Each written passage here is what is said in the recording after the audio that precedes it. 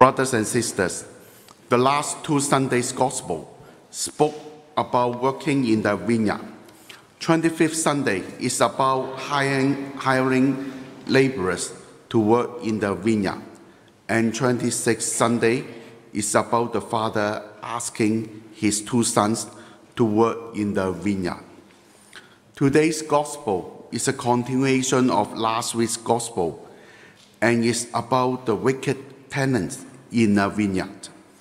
Jesus used this parable to reveal to us the way of his Father and what God's ways look like.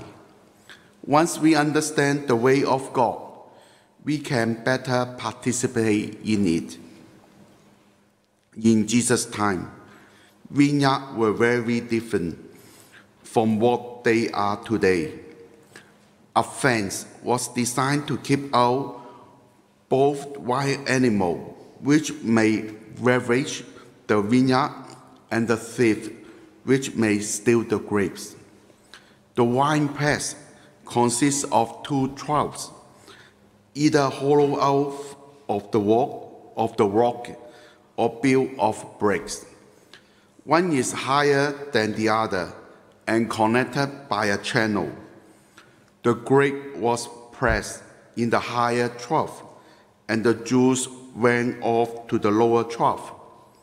The watchtower was to watch for thieves when the grape was wiping, and it also served as a lodging for those working in the vineyard. In those days, it is common for a vineyard owner to lease out their estate, and they were mostly interested in collecting the rental at the right time. The rent may be paid, may be paid as a fixed amount of money, a fixed amount of fruit produce, or an agreed percent, percentage of the crops. In today's gospel, the vineyard represents the nation of Israel or the world, and the landowner is God. He planted, create everything, and then lease it to the tenant. The tenants were the religious leader of Israel, who were charged by God with the welfare of the nation. The slave or the messenger who were sent were the prophet sent by God, and they were rejected and killed. The son who came at last is Jesus himself. The parable tells us much about God's way. God entrusts human beings with many things. The owner of the vineyard entrusts it to the tenant. He did not even stand over them to exercise police-like supervision. He went away and left them with their task. God is patient. The landowner sent slave after slave. He did not come with sudden vengeance when one slave has been abused and ill treated. He gave the tenant chances after chances to respond to his appeal. God's just judgment. In the end, the landowner took vineyard from the tenant and leased the vineyard to another tenant who will give him the produce at harvest time. The parable also tells us much about our human nature. It tells us that we are privileged.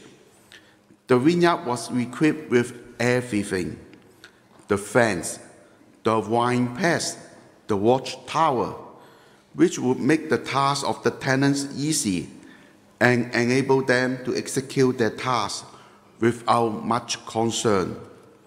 God does not give us the task to do. He also gives us the means whereby to do it. The parable also tells us about human freedom. The landowner leaves the tenant to do their task as they like. God is a dictator, a dictatorial taskmaster. He is like a wise leader who allocate tasks and trusts people to finish the tasks. The parable also tells us about human answerability. The, to everybody come a day of, of reckoning from God. We are answerable for the way in which we have carried out the task of God gave us to do. The, the parable also tells us the deliberateness of human sin. The tenant carry out a deliberate policy of rebellion and disobedience towards the landowner. Very often, sin is a deliberate operation to God. It is the taking of our own way when we know quite well what God's way is. The parable also tells us much about Jesus. It tell of the claim of Jesus' divine sonship. It shows us quite clearly Jesus lift, lifting himself out of the succession of the prophet. Those who came before him were messengers of God. No one could deny that they are servants and Jesus is the Son. The parable tells of the sacrifice of Jesus it makes it clear that Jesus knows what lay ahead of him. In the parable, the wicked tenant killed the son. Jesus, willing and with open eye, went to his death. Brothers and sisters, learn from the parable that God is giving us a tremendous privilege of participating in God's word of caring for His world. If God leads to us God's world and the goods of this world, then we are tenant or caretaker of God's world, and especially His people. Therefore, we ought to help God by caring for of the things of this world and help to promote His kingdom.